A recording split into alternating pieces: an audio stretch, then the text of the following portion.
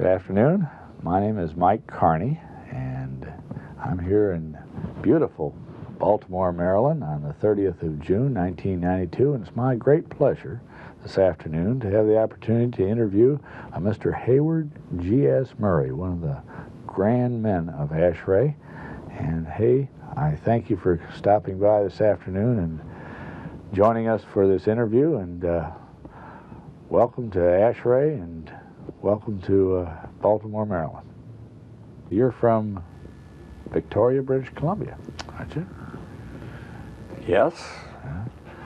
That's the third or fourth chapter I have belonged to is Victoria. Is that right? Now you started out in Winnipeg, you told me. That's earlier, right. And uh, I only had access to a ASHRAE guide for Ash V guide at the that time for one month, uh-huh. And uh, then I left for Montreal, and then I heard from the Honeywell fellow who said we're going to form a chapter of ASH and VE in Montreal, and would you like to become a charter member? and in what year was this? 1935, about September, October. Okay, so And having had access to and recognized what it was in respect to what I was earning my small salary from, I realized that this would be the educational bridge beyond a BA degree into a, a business. Let me go back a little bit. You had mentioned that your degree was not in engineering, but in the arts. You had, That's right, uh, BA, BA. not BSc, yeah, B, or BSc of C. Uh, clarification, I graduated with a Bachelor of Arts degree, specialization, math, and economics. And uh, then uh, it became necessary to earn a living. So I started with the humidifying equipment in Winnipeg for residential and commercial application, moved to Montreal in 30, late 34. And uh, as I say, this came up fairly quickly, and bang, within a year, there's fo- forming this chapter. And yes, I wanted to use the educational capability for that, which I felt already. Not I didn't know a hell of a lot, but I knew, sorry, I knew enough to realize that I needed something else than what I had. Okay, and then you look for uh, for the society, which at that time was ASH and VE, as your source of information in this field, Certainly. in the field. Okay. Yes. And uh, got involved in the starting of Montreal chapter. And Hey, you were talking about the job of heating aircraft hangars, and that was during the war. Uh, yes, uh, as I said, uh, we had an affiliation with Lee Engineering of Youngstown, Ohio, who had this highly industrial uh, warm air heating system of very large capacity. Uh, up until that time, I'd handled units with one or 2,000 CFM direct fired heating equipment for homes and small commercial. But this was the other end of the scale. The biggest one I put in was eight, we put in was 85,000 CFM, which is quite a chunky. Well, it took a 40 horsepower motor to run it, and uh, the concept they used was first off is you're interested in the first five feet off the floor when you heat a hanger. The rest of the stuff, the problem is to keep the temperature down above and keep the heat down here and not have it overheat up there. And the standard method of control of the other types of heating steam unit heaters, projection type, was that they drove it down to the floor for part of the time, then they stopped the, the fans. And of course, the stratification started right away, and then the hangar, they're drafty. Besides, they have opening doors. So anyway, this system was pretty good and would control the temperature floor to ceiling by confining the air circulation the first five feet off the floor. In other words, you weren't interested above that because it would assume a natural situation. If there was an air change, it would be practically flat floor to ceiling. Once you stop the things, then it piles up at the ceiling, cold at the floor. And the whole premise was deliver your hot air at the floor, pull your cool air sheet off the floor. And with that equipment, it was about a year before we really started to move. That had uh, Dunkirk. Before that, the war was, uh, you know, a Cold War, crazy war. It was a game almost where they just sat and did nothing except bomb England a bit. But once Dunkirk happened, the floodgates opened because they had to train the pilots other than Great Britain. They were full of fighter pilots, but they couldn't be running training exercises and moved the whole thing over to Canada. And they sent over people from all over the world in the British Empire to train there. Anyway, uh, after two or three years of handling these, what we call direct fired, by means of coal and stoker, and some gas fired equipment, then they uh, said, well, we're having shortages of manpower. We've got to get uh, a central station plant. And I said, well, we can do the same thing with steam blast coils and uh, use the same air system, and it does as effective a job, and it removes the probable problem of having a heater in every hangar. We could put one steam plant, feed the steam to five or six hangars. And that was the succession after about three years and uh, hundred and so hangars that brought that system. So at the end of the war, we had oh, about 235 hangars, each one of them 200 and some by 164 heated with these systems. Well, that was really an interim phase that was caused by the war shutting down refrigeration and air conditioning jobs. They had needed for other purposes. So when the war finished, then had to convert to back to air conditioning. And uh, at that time, I, after 12 years with this other group, during which we had formed the refrigeration air conditioning division of Canadian Comstock Company, done some smaller work and then some large, little larger work. And as I say, uh, we then re-entered the refrigeration and air conditioning work because the hangars were finished and we had to go back to our normal business. Was that cooling you were talking about and was that by mechanical means at this time? Oh, well, we put in our first refrigeration uh, uh, systems in theaters back at 37, 36. Comfort cooling then? Is this comfort cooling then? Yes, comfort yeah. cooling for yeah. theaters, and that was the first uh, first area where cooling was put in was really in theaters. Uh-huh. And uh, well, the theaters, uh, a few of them, they were got very competitive right after the war. Everybody was in it, and uh, we had some liaisons with people for whom we had done these two big aircraft plants with firm in Montreal. And they used to call us in for advice on some of their industrial applications. We'd work with them and negotiate or bid a job and do the work. And uh, in other words, my area of specialization worked fine with them when they'd oversee my plans and specifications and, and uh, my our plans and specification, and uh, we send it out as part of the parcel. Mm -hmm.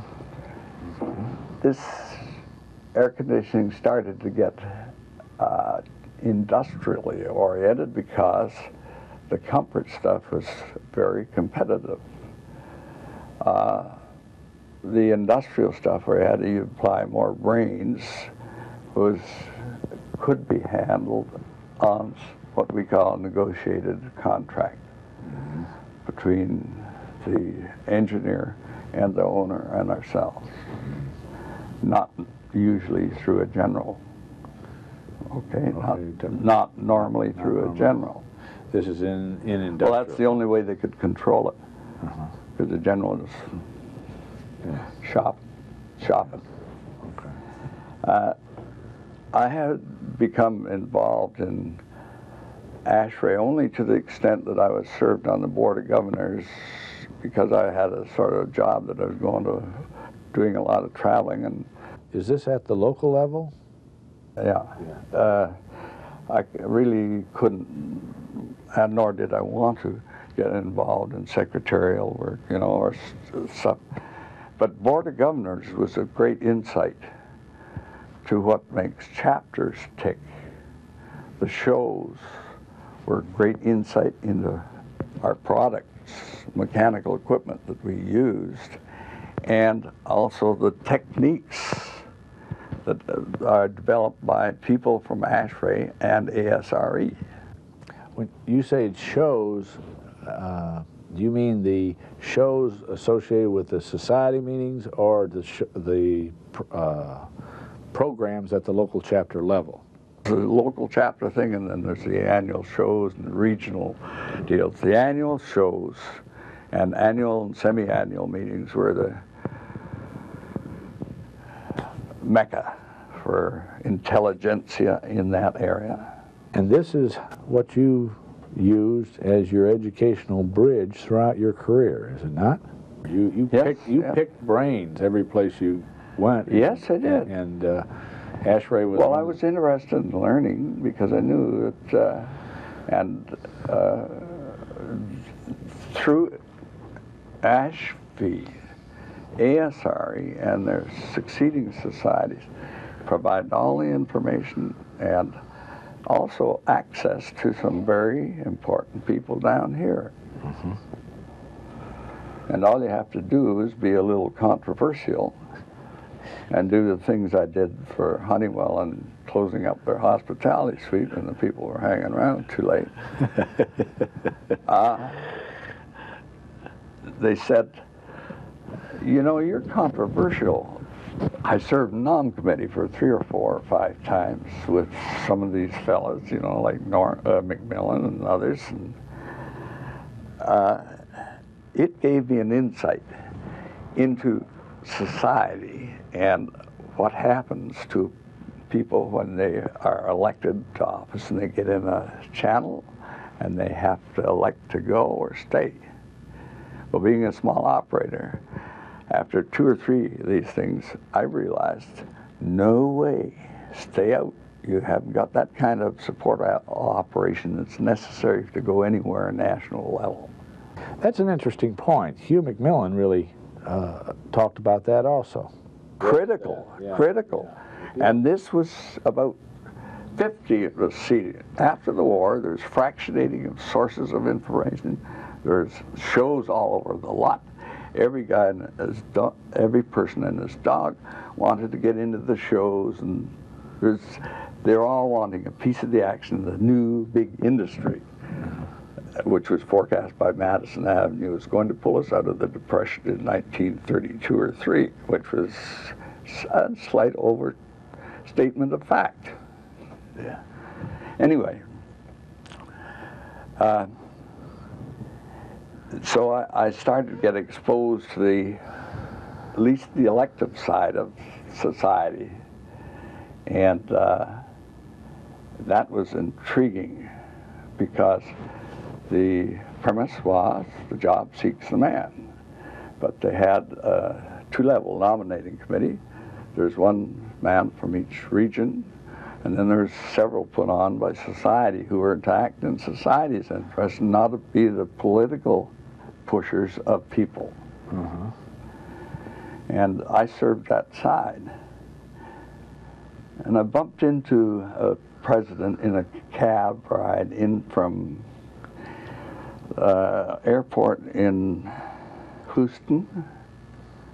He turned out to be uh, one of the older presidents, and he told us, me the story of his life during his climb to the presidency. The presidency in those times cost him $80,000 in fees the last year when he went through the chair. You mean in lost business? Yes, eighty thousand dollars in fees. In that time, it's eight hundred thousand a day, and it pretty near wrecked him. Emphasize: don't get involved.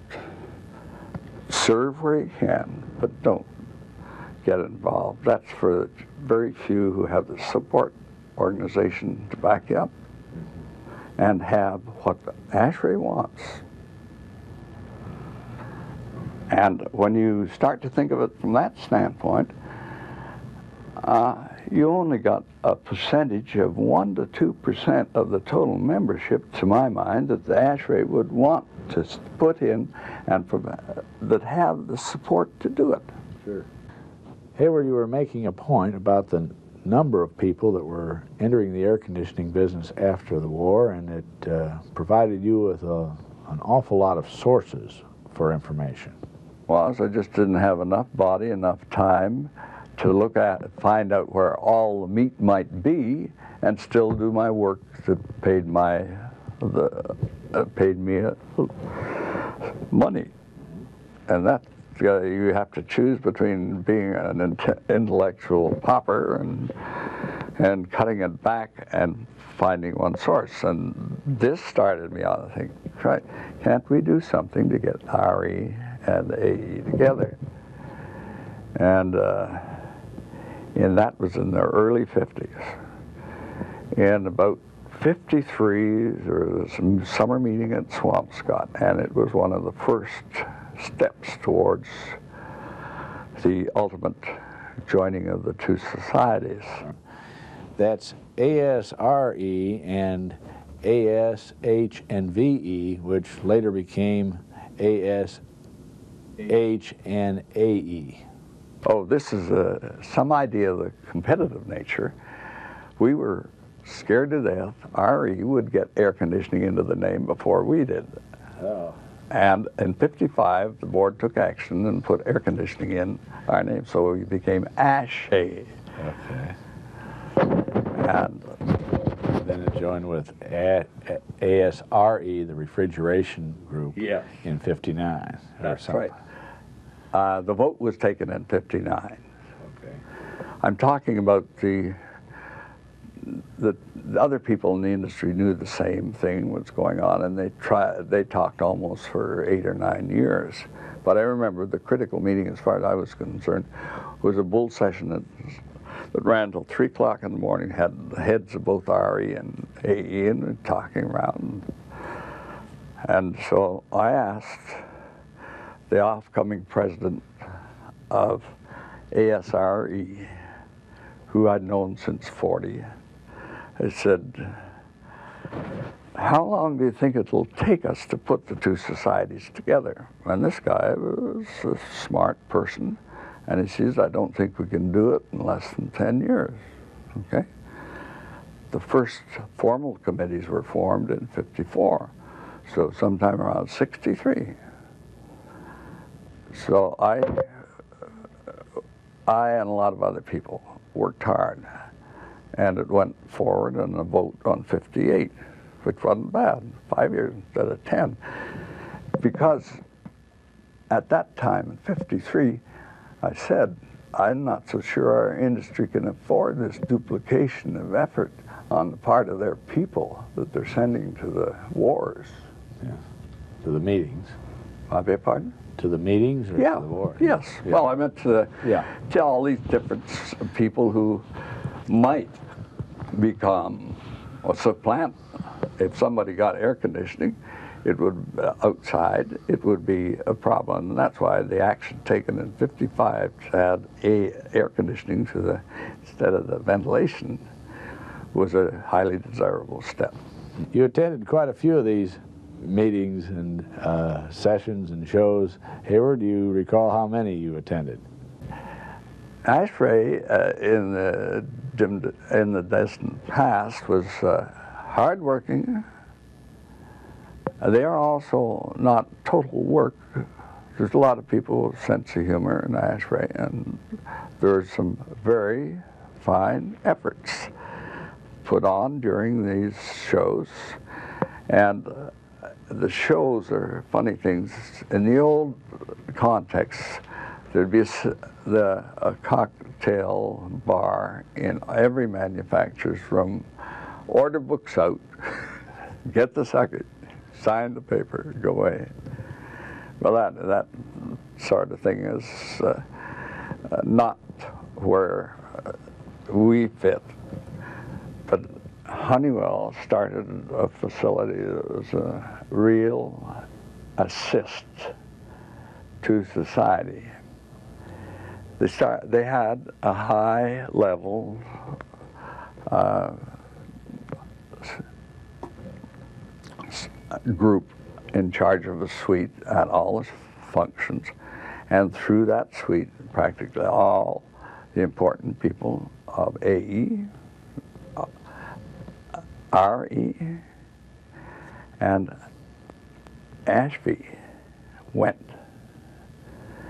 And in, in, they would oftentimes have political things go on. It was a, they'd go into bedrooms and they'd do their little duty of uh, uh, meetings of, you know, the, the at the top of the echelon, not the a whole committee, just two or three people. And that was a necessary function to have. And they fulfilled that function. And uh, John Haynes and his wife ran.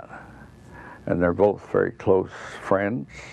In fact, Mrs. Haynes' son called uh, called me the day his mother passed on, last just after Anaheim. And uh, there was other Lou Flagg. Lou Flagg in 1957 was our guest at Murray Bay at the children's table. My wife and I were entertaining our, children and the other chen- children at Murray Bay, and we sat with them during the banquet.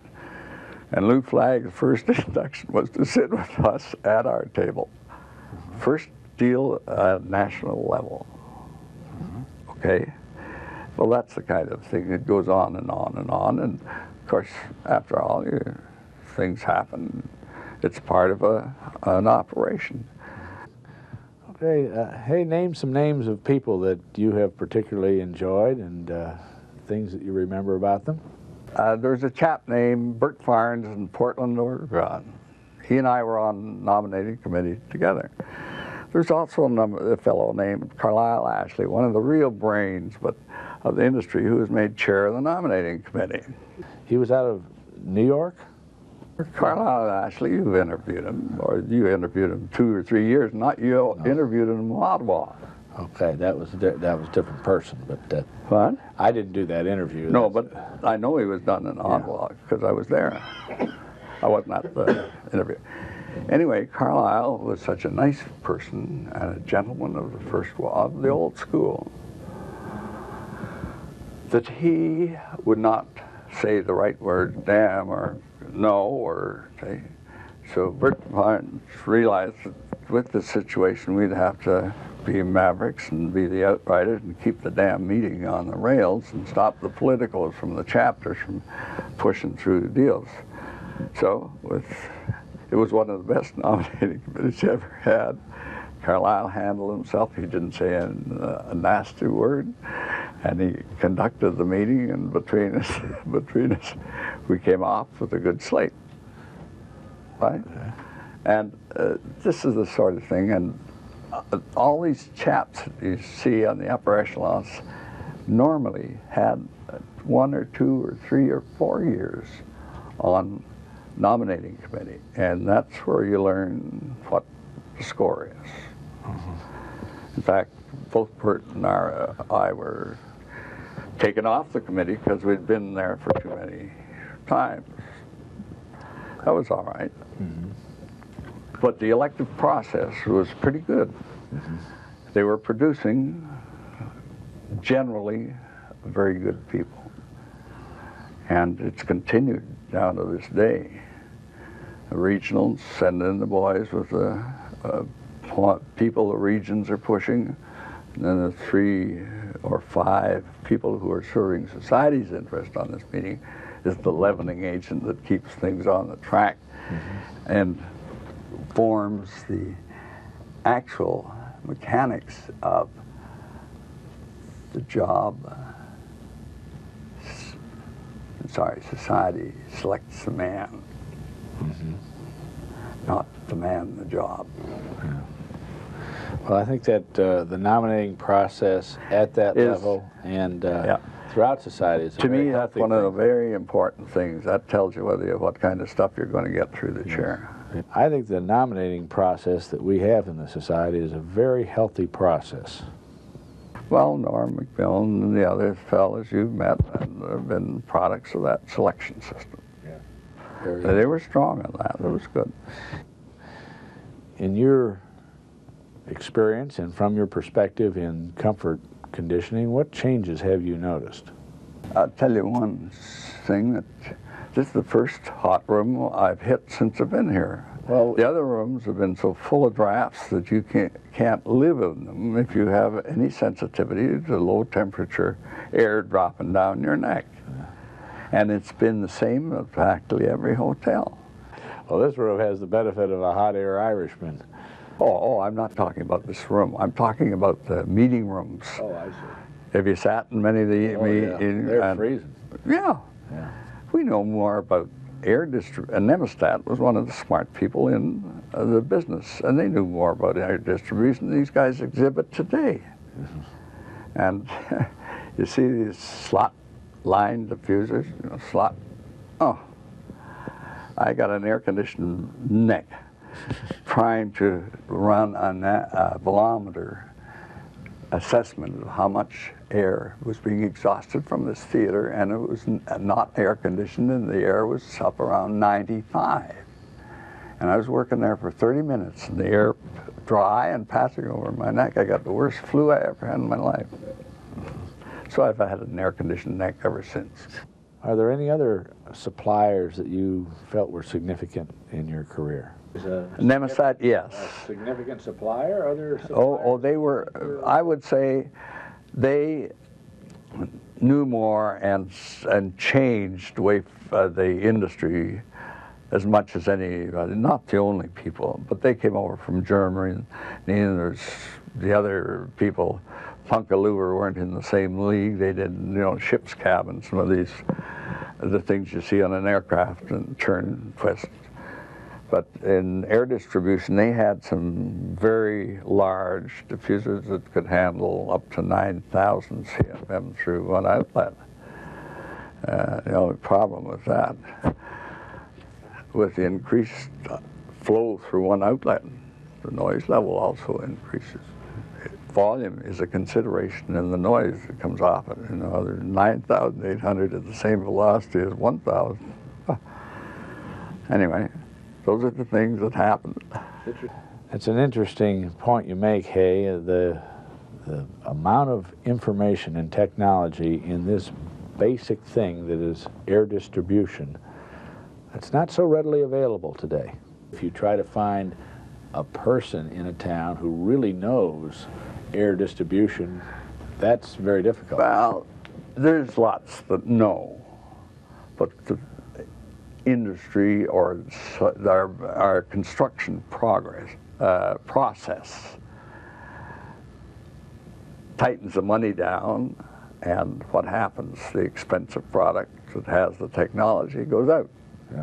becomes a, a, a distributor, a wholesaler that's item. it. Well, I mean, it, they substitution, Mm-hmm. and uh, they have done quite a job at taking a lot of the uh, things that the Anemostat had, and uh, the ceiling diffusing diffusers are generally not too bad. But one of the basics was you have a parameter of air stream from a circular diffuser. It goes over like that, injecting a like this, and goes over and carries and should go down the wall and reach a low enough velocity so it doesn't bother you and sucks air up in the middle of the room. These linear diffusers, good God, they're just a sheet of air. And if they're headed downward, you get it. Yeah. And there, it's uh, it's a continual bane in my life, walking out of meetings or doing this. I do this purposely because it gets other people to realize that I do not like the cold drafts. Disapprove of Right. that. Okay. Um, well, Hayward, we're here in Baltimore. What uh, stops and travels are you looking forward to while we're here? Uh, well, we got lock-in. So many of the meals are functions of, you know, uh, and I've eaten so many places outside that uh, oftentimes uh, that eating is uh, an interruption between drinking and talking. well, we'll try not to have too many of those interruptions, and we'll get right back to the to the latter here pretty soon. You and I, I look forward to that. You wish to name some folks that you've enjoyed seeing while you're here again, and uh, elaborate on that a little bit. Well, you had a- oh, maybe. I would say there's several thousand people I've met that I've got close enough to to know. And at my age and recall, which is pretty good, but for names, ah, it's rough. That is why I wear that thing all the time to give the other guy a break. uh, the name tag. Yeah, and uh, had it too. it's just impossible. But I've had associations with so many people. Well, yes, I'm going to get your name tag, and let's do take uh, a shot of your name tag because you've got quite a number of what we call ribbons on it, and we're gonna we're gonna hold it up. So hold it up there so the Yeah. camera gets that. Yeah. Well, hold it up on your chest, Wow. and even if it flashes for a moment, uh, at least the folks who view this video can see that uh, okay. you've got a few uh, service ribbons there, youngster. Uh, yes. Uh, first was Distinguished Service in 1967 for my efforts in the merger. Uh, the next one, that's the Distinguished Service. Next one was Life Member, which they gave me life in San Francisco. That's, on- that's for living through all this stuff. That's right. That's right. they gave me life and and they sent they caught up with me and the Los Angeles chapter had me in presented me with this. And then the uh, fellow I think that was probably for efforts on research promotion and uh, the founding uh, founding director of ASHRAE Research Canada. And I've been involved in well since '62 or three in funds for research, and uh, it's come a long way. Sure And. Six just after the merger finished, I sat in New York on the Finance Commission and had them read out the total take for, other than show, other than portions of dues or other special things, about twenty-seven thousand dollars. You know the kind of figures they're talking now, a million a year, just as easy as that.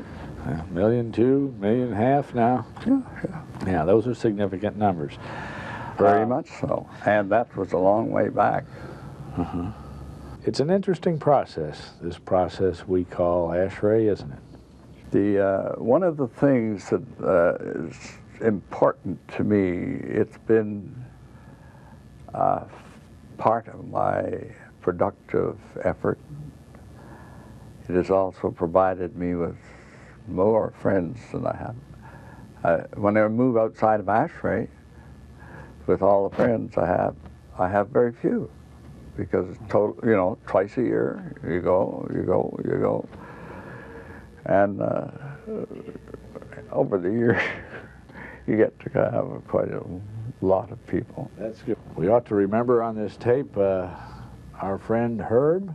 Herb, Herb Maybank. Herb, Herb Maybank. Well, Herb has the same initials as I did. He came along on Comstock after I left to start on my own business in 1946.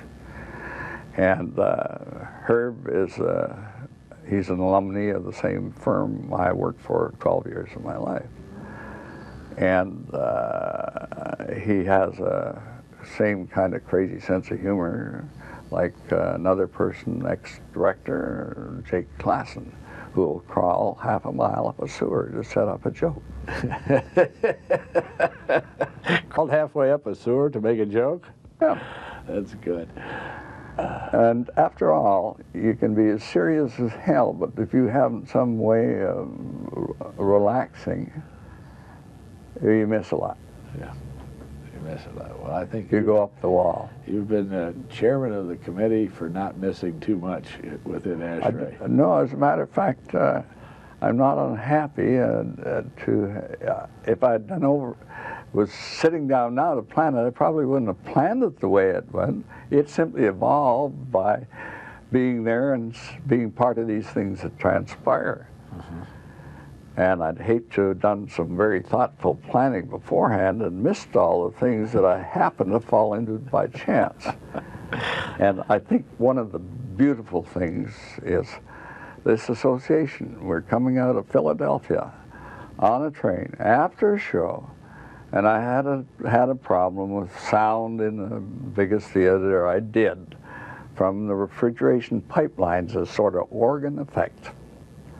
And it was bothering me, and I was getting the runaround by the Montreal uh, people representing this. And finally, I'm going down to the show and coming out of the show from Washington to New York by train that's so full, we're standing in the vestibule.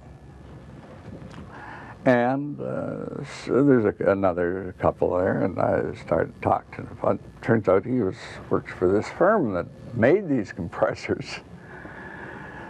And so, chance puts you in the vestibule of a nine-car train with 700 or 800 people, and the very guy I would love to talk to, I do.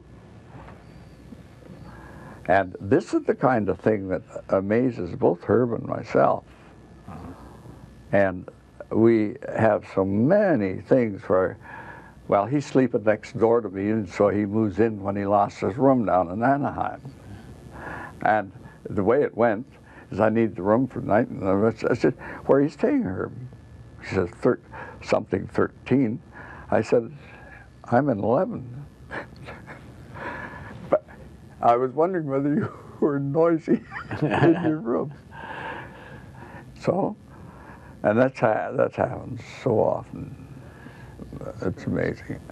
ASHRAE is a good breeding ground for unusual coincidences, isn't it? Yes, it's absolutely fantastic. And uh, there has been lots of people who have gone from the scene, and there's a lot of the people which who are fine people. Would you remember one or two of those friends of yours that are now gone? One or two? A million I can remember. Al Newton, Herman Spoehr. Herman Spoehr, I'm glad you mentioned him. Herman Spoehr, I asked him going out to Vancouver, in 1959, I believe it was. No, 1960, on the train. We'd been to Edmonton. He, we were on the train and going into the piano bar at Jasper Park Lodge. Here's Herman Spoehr. So I sit down. I'd met him years ago in Montreal, and, you know, gone out with him in Montreal and town and it's gone. And he loved to sing. He used to rent the Skyway Suite, a big suite in Chicago, every time they had a show there. And uh, he'd have a piano, and they'd sing harmony. And Uh, it's just, if you've seen that harmony, well done. They really did it up brown in those days because it was part of the advertising. And Herman, of course, used to love to sing, and we sang at his home outside of St. Louis. On the annual meeting, we went over for a cocktail party on Sunday night, and his brother had presented him with a nice red fire truck, the old Seagrave fire truck, complete and operational, that his brother had bought for him as a Christmas present. okay.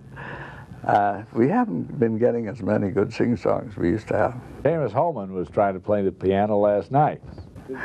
Okay, Seamus, I've known long enough to t- tell you I don't want him singing on my side. Seamus, nice guy, and all the rest of it. But Pearlie Barker is the guy that used to be able to play the piano. He's around here. And I was saying, we got to get a piano. Well, I'm pleased you told a little story about Herman Spoehr. I cleaned the computer and say Herman was a dear friend. Okay. Through what? What the hell would I be up with the head of Alcoval? We'd use this, uh, no, not Sporlan Valve. And I also knew John Doob. And I asked Herman, do you think John Doob is serious that he only wants to stay one year as a treasurer? We put him in to plug the leaks, the, the bad situation in the treasury in 19, coming up, this was about 1950. And Herman says, don't kid yourself, Murray. He'll go through the chair. I want to, okay. He did. Herman was pretty uh, a wonderful guy. And this has been the story of my life. ASHRAE not only gave me an educational bridge, but it came, it gave me a, a whole host of people that I consider friends. Ah, and ASHRAE has now become a social bridge as well. Well, the, these social gatherings were mere evidences of a lot of friends, period. Very good. And that so it served two functions. There you go. So you know why I feel the way I do about ASHRAE. And as we bring this to a close, Hayward, is there anything else you'd like to add to the interview? Heresy, would you like some? Oh yeah, let's give us some heresy. Well, Wouldn't be a Hayward Murray They've forgotten what a buck is worth up at the top. In what, in what regard do you mean? Wow. When I first went to a show, I went to the Commodore and stayed in the studio suite for 750, myself and my wife. You know what the charge today? 125, 135. To keep from going to the poorhouse, I have to get a bed companion that'll share the expense with me. well, I, I can appreciate uh, the cost of the hotel. No, I'm no, no. It's the whole up the uh, structure and uh, amount of money that's going through has gone up exponentially, and it's been peaking on uh, total people, sixty-five thousand back to fifty-five thousand, and I never expected to happen. We haven't moved really, except the, on the international divide. We lost here we're making it on the, they're making members in the international set, but it'll never make up for the people we're losing here. I'm a Canadian, and I love a lot of people here. And so, all you can say, well, is, is this the way they've got to go? Or has somebody got to be a little rougher on, uh, well, it's just the same as the government. You get big, you get sloppy. I'm not saying sloppy in respect to the things they do in an engineering way. I'm talking about allowances for travel and stuff, and too many people traveling. Well, Sure, big show, take it over the Orient. And unfortunately, I came from a different area. A dollar was a dollar, mm-hmm. not a cent. Mm-hmm. Is that too critical? No, I think you and I should go spend a couple of those dollars down at the, the bar here pretty You soon. You would have to spend a dollar. Well, we'll spend a couple of them. All right, Okay? That's Is it about deal. time for that? it's a deal. Hayward, thank you for joining us this afternoon. You've been a delightful interview and uh, Well. great insights for the historical committee. Uh, well, uh, I've uh, written, tried to write some history on ASHRAE, and there's a million stories, absolutely a million.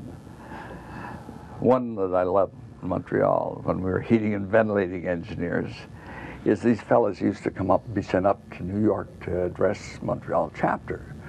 And in the middle of winter, sometimes it'd be 10 or 20 below. And we used to have a delegation of fellows that walked down to the station out onto the platform to meet the guest speaker and walk back with him and do the same when he finished the meeting and out on the midnight train to Toronto or New York. And then if it was very cold, sometimes we'd get across the street to Mother Martin's where they made, made the best onion soup in Montreal and also had good hot toddies and rally round. Well, Hayward, we'd like to thank you for joining us this afternoon, and I think it's time for you and I to uh, find a place to rally round, as you say. Thank you.